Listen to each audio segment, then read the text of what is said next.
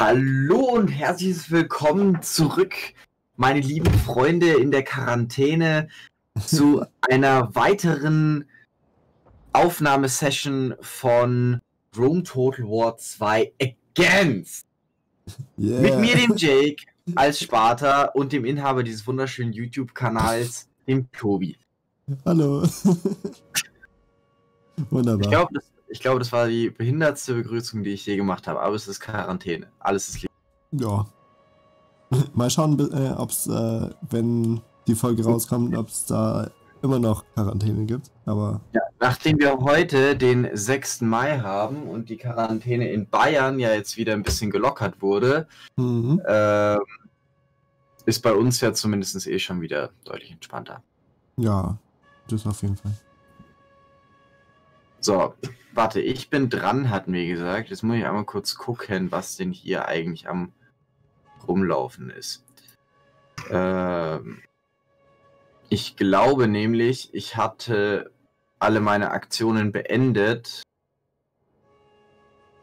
und einfach nur, also die Runde noch nicht beendet.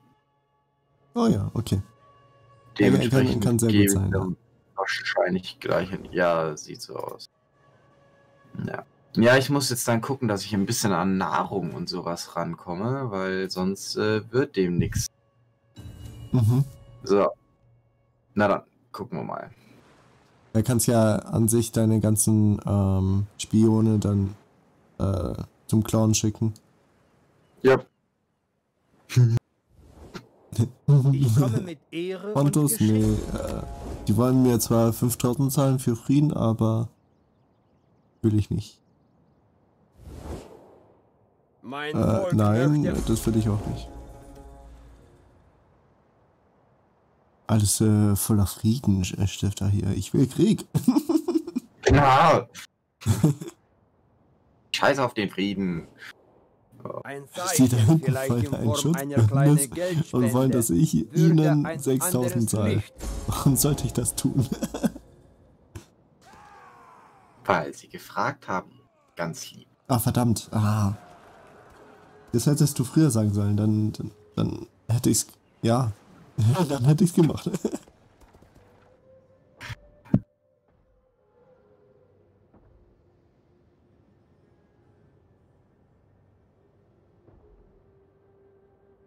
Hm. Die Broiki wollen Frieden und wollen, dass ich dafür Geld bezahle. In welchem Hm. Universum lebt ihr nochmal? Ach so, warte mal, sind das irgendwie. Nee, das sind keine Verbündete von den Lugiern. Vor allem die Breuki hat halt einfach nur eine Stadt. Ja, das war's. Das erklärt auf jeden Fall, warum sie gerne wollen, dass äh, ich zahle. Also, äh, wenn ihr mir Geld gebt, dann denke ich darüber nach, weil ich glaube, ihr habt auch keine äh, keine Stadt oder sowas. Okay, bei 1500. Ach so, nee, die wollten mir Geld geben. Ach so. Ja, dann. Okay, bei 3500 ist niedrig. Wie sieht's bei 2500 aus, Murat? Ja, gut, nachdem ihr eigentlich eh nichts für mich Wichtiges habt, dann kann ich mich auf meine Freunde, die Lugia, konzentrieren. Beziehungsweise sie mit dir. So, mein Freund, ich mag das gerade eigentlich nicht, weil, das kann ich sehr gut begründen, Teile von dieser Armee eigentlich tot sind und meine andere Armee noch nicht nah genug dran ist. Aber warum müssen diese Leute immer alle anrufen, Wenn wenn gerade. die Aufnahme angefangen hat? Das ist ja mal dermaßen dumm. Naja, das So. ist ein bisschen Tradition.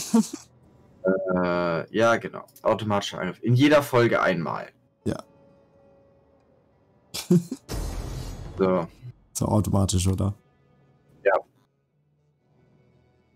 Also ich meine, wer weiß, vielleicht kriege ich es hin mit äh, zwei wirklichen Einheiten, die man auch als Einheiten bezeichnen kann, das äh, zu machen, aber. Ja. Warte mal, die haben. Ah, nee, ich dachte gerade schon, die hätten mir die Stadt gelassen. Jetzt, was soll denn das? Also eigentlich, ähm, man kann immer so sehen, bei einer Stadt ähm, Verteidigung, sobald man ein oder zwei Pikiniere hat und der Gegner äh, keine oder kaum Fernkampfeinheiten, kann man es gewinnen. Ja. Aber Deswegen, sonst eigentlich du nicht. hast, wenn du keine Garnison, also keine militärischen Gebäude in einer Stadt hast, dann hast du da drin auch eigentlich kaum Garnison. So, und Hm. dann hast du da drin, wenn du Garnison hast, nur Scheiße. Ja, das stimmt. So, ich tu, äh, tu dir mal Gefallen und äh, hol mir keinen General mit einer gepanzerten Elefantenarmee. Ja, Einheit. Weil mein General ist gerade ähm, al an Altersschwäche gestorben. Und da Nett. dachte ich mir so, ja, aber nö. Nett. Nett. So, jetzt können wir mal schauen. Also ich weiß nicht, äh, also an sich könnten wir das spielen. Aber es ist halt, ja, 95% äh, gewinne ich. Ähm, Also ja, naja, du, das du ist. Ja, Keine nee, Ahnung, ja, das musst du wissen. Also ich meine, grundsätzlich würde ich jetzt sagen, das klingt erstmal relativ hoffnungslos unterlegen.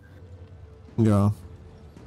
Ja, also an sich, du, du, du hast halt genauso viele Einheiten wie ich, aber deine Einheiten sind halt, äh, ja, Stufe 1 Einheiten, sage ich mal, und meine sind halt die äh, Kataphrакte, also ja, machen wir, machen wir, 20. machen wir automatisch. Warum genau? Das sind halt muss nur die- ich dann jetzt auswählen. Achso, nee. Äh, Ja, einfach automatisch, ja. ja, nee, ich habe gerade gedacht, habe mich gerade gewundert, warum ich jetzt auswählen muss, welche Kampfstellung ich nehme, aber das ist der, ich muss auswählen, ob automatisch oder was passiert. Ja, genau. Oh Mann, der hat hier alles äh, geplündert, dieser Dreckspatz. Ähm, In den Kampf! Die Siedlung wird belagert! uh, ich weiß nicht, ob ich will, dass du das spielst. Hm. Ich weiß es auch nicht, ob du das willst. Puh. Ich weiß auch nicht, ob ich das will. Also sagen wir so, es ist eine Belagerung Mhm. und ich, Belagere ich oder belagerst du? Also Äh, wer belagert wen? also ich belagere, also ich, ich kann noch ein bisschen warten. Äh, das Problem ist, äh, ich habe nicht wirklich Belagerungseinheiten. Also ich habe sehr viele Elefanten und sehr viele Bogenschützen, aber nicht viele, die auf die Mauer gehen können. Können die Elefanten nicht einfach die äh, Tore einreißen? nee, Einrennen? nee, das wäre. Also, ich glaube nicht. Ähm, aber ich werde da einfach eine zweite Armee dazu holen. Die eigentlich genauso auf, aufgebaut ist wie die andere. Immerhin mehr, mehr Leute, die auf die Mauer können. Genau. Ja, doppelt so äh, viele. Fünf du statt drei Einheiten schon mal sechs. Das ist ja auch schon mal was. Das ist, das ist eine ganze Menge. so, ähm. Wo sind denn meine ganzen Armeen eigentlich hin? Ähm. Na, Also, die Handel von drüben stehen wahrscheinlich irgendwo da drüben. wow. das ist gut. So. Und hast du sie gefunden, oder? Ja, ich habe äh, meinen Wolfpack und mein äh, meine 212. gefunden. und Hansel von drüben, äh, ja, die kommt gerade den anderen zu Hilfe. Ähm, die Herakleiden. Was ist das denn für ein Name? Das geht Ähm, aber nicht. äh, das, den nenne ich. Ähm. Hm.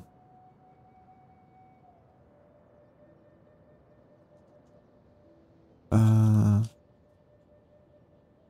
okay. Jetzt, jetzt brauche ich, also ich habe die Armee jetzt äh, den Anboss genannt. Jetzt brauche ich äh, noch eine Armee mit dem Namen äh, der Hammer und dann greifen sie dich an. und einfach so, so richtig zwischen Hammer und Amboss zu zerquetschen. Soll ich eine Armee erschaffen und sie Rohstahl nennen oder so? Da könntest du machen. So. Das Problem ist dann aber, wenn ich dann mit Rohstahl Hammer und Amboss kaputt mache, das wäre irgendwie ungünstig. Das wäre wär sehr lustig. So, dann scout ich mal hier weiter. Ah, und hier scout ich auch mal weiter.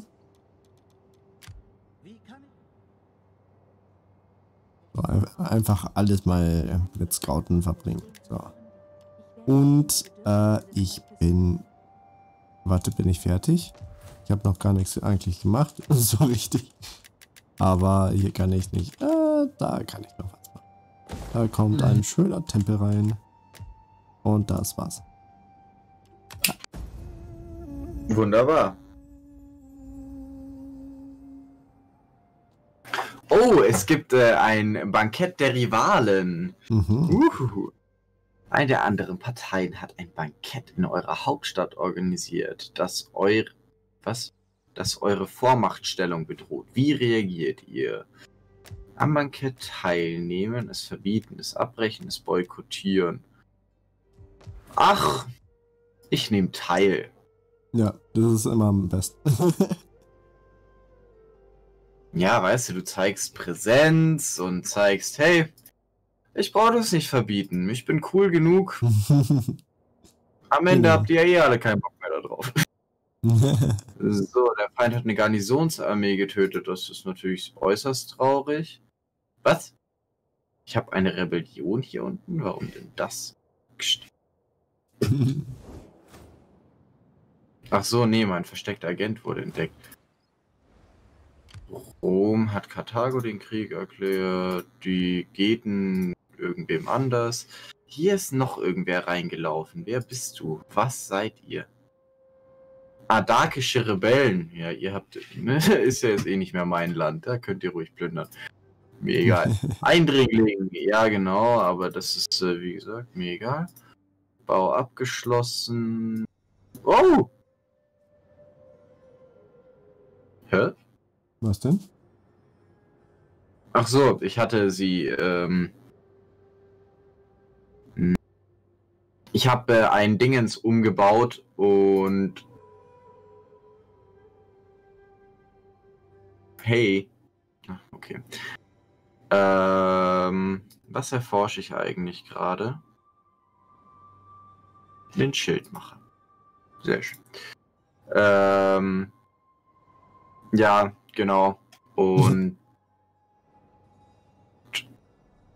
habe mich gerade gefragt, ob das die andere Kaserne ist. Aber es ist die Kaserne, von der ich dachte, dass es ist. Also alles gut. So, äh, Nahrung. Bam. Und weil ansonsten, glaube ich, die öffentliche Ordnung komplett zugrunde geht, nehmen wir noch das da. So.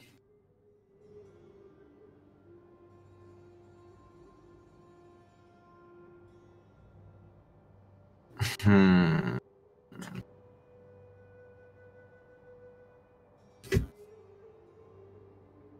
So. Euch mal zum.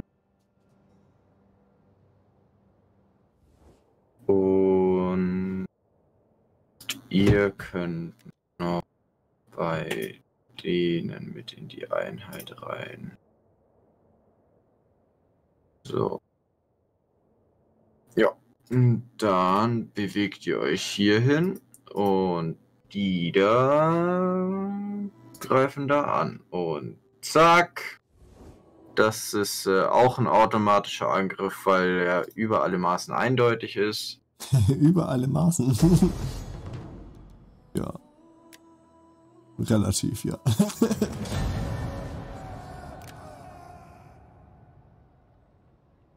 so.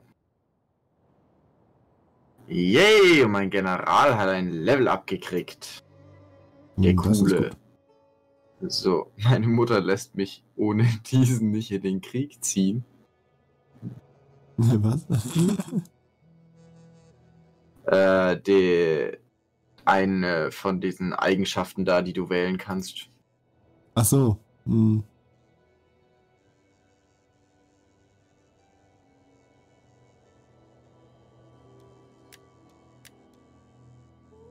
Das ist voll krass. Die Ikenas haben fast ganz Britannien jetzt schon erobert.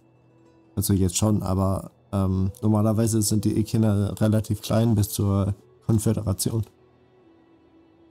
Okay. Na dann äh, sollten wir sie vielleicht mal in den Arsch treten. So, bis wir da oben sind. wie geht's euch eigentlich, meine lieben Freunde? Euch geht es soweit ganz gut. Warte mal, ich muss jetzt einmal kurz durchgucken hier meine ganzen Armeen und so. So, also du rennst mal. Wo ist die Grenze? Ist es schon hier? Müsste eigentlich. Dann rennst du mal hier hin. Ja. Okay, na, oder? Ich bin mir nicht sicher. Eigentlich ist doch an der Grenze, oder ist es, wenn Grenze Flüsse sind, nicht? äh, was meinst du?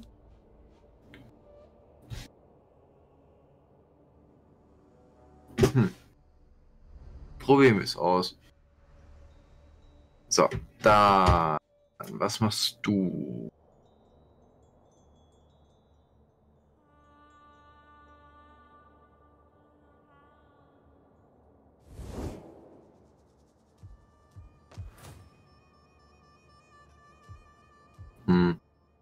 Damit sie klauen kann, muss sie in einer angrenzenden Pro äh, Provinz oder so sein, oder? Äh, nee, sie, äh, sie muss einfach in einer gegnerischen Provinz sein. Egal wie weit das entfernt ist. Warum kann ich sie nicht aktivieren? Seltsam. Vielleicht, weil sie entdeckt wurde. Ja, oder sie ist zu weit gelaufen. Hm. Auch möglich. Das Aktivieren kostet, glaube ich, immer die Hälfte.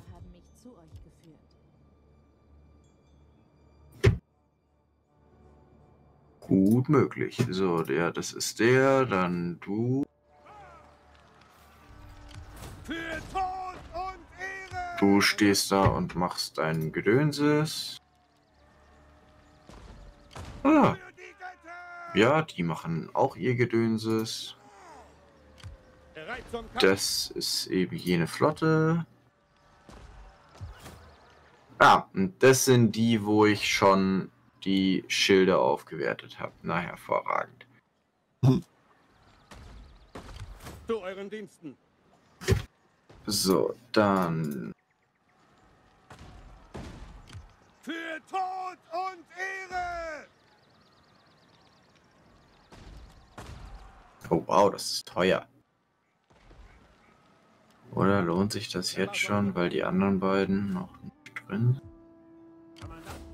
Ja, egal, ich mach's trotzdem. So. Oh. Und Hier reicht es dann aber auch nicht für alle.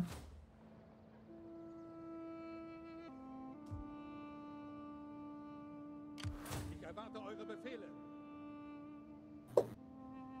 Hey, Gott, ey.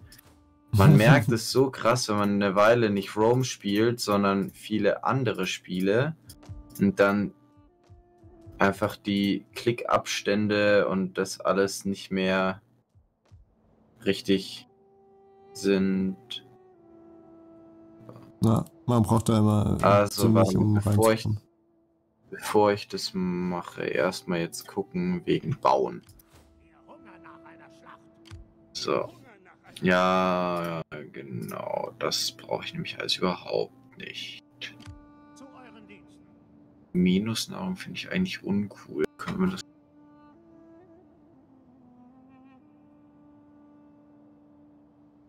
Wachstum.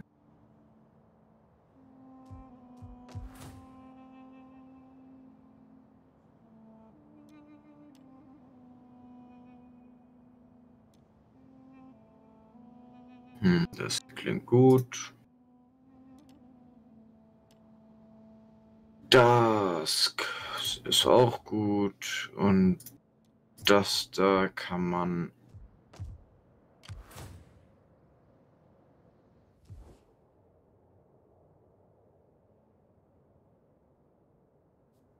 einreißen. Tüt, tüt, tüt, tüt. Da kann ich hier irgendwas zusammenziehen. Euch zwei kann ich zusammenziehen. Dann geht ihr noch damit rein. Und äh, mehr lässt sich da nicht machen. Du mal zu ihm und gibst ihm noch eine Einheit Hopliten. Warte mal, hat der keine Fernkämpfer? Kann das sein? Das wäre gut für dich.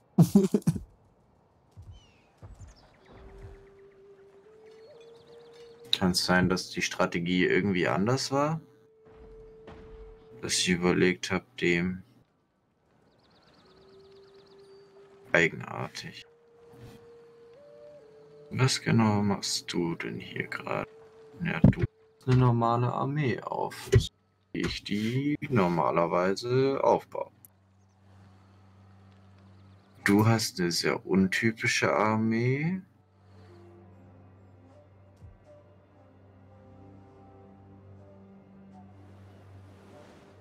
Du. Ich gerade nicht ganz, was ich hier geplant hatte.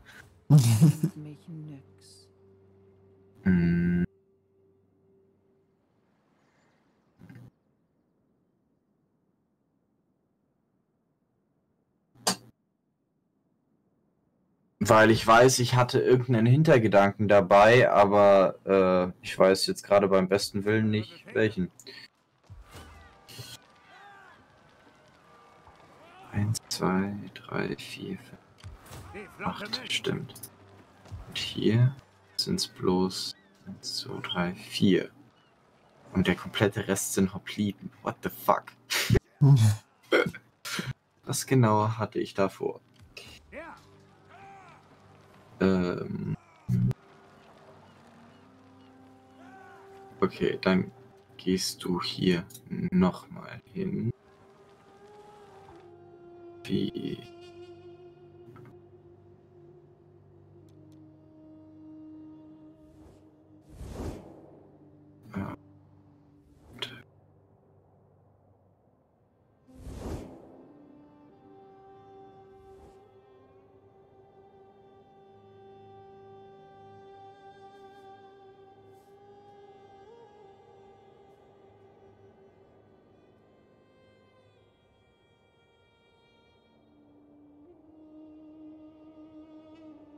Stimmt das jetzt noch? Ja, okay, gut. Was auch immer ich geplant hatte, es wirkt irgendwie seltsam. Ja, schön. Vor allem mit den vielen Hopliten, weißt du? Also ich meine, wenn ich jetzt sagen würde, okay, ich mache einfach eine Armee gegen dich oder so, da würden ja die, die Pikiniere deutlich mehr Sinn machen, oder? Also, Ähm, äh, also ne, du hast nur eine Armee mit äh, 1000 Pekin, äh, nee, Hopliten oder was? Na, also fast. Ich habe vier Einheiten Piken und der komplette Rest sind Hopliten gewesen. Ich habe es jetzt geändert, aber trotzdem. Ja. Ich glaube, du, du wolltest eine Armee äh, auf traditionelle Weise machen, glaube ich. Also auf Sparta-Art. Hm. Ich weiß, ich wollte eine sehr unspartanische Armee aufstellen, aber Ja. hm, seltsam. Sehr, sehr seltsam. So, Was? Und da unten muss ich jetzt auch noch das einnehmen. Mann. Gut, okay. So, ach so, du rekrutierst. Ich muss jetzt noch mal kurz gucken, wo die restlichen Einheiten sind. Jetzt, wo ich hier zumindest mal wieder einen Überblick habe, was eigentlich Stand der Dinge ist.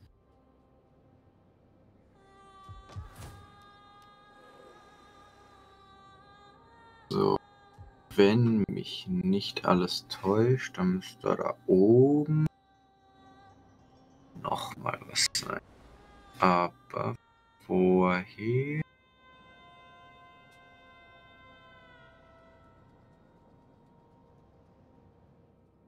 Vorher, vorher, vorher. Oder nee, ist mir egal. Wir marschieren hier hin.